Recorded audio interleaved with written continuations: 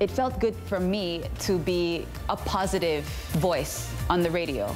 African Voices, tonight on CNN. He's the man in the midst of a balancing act between North Korea, the US, and China.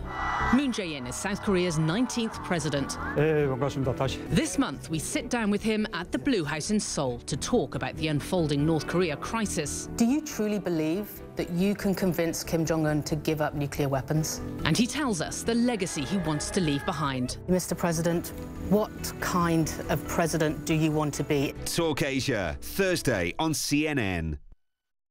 I'm Paula Newton in Caracas, and this is CNN.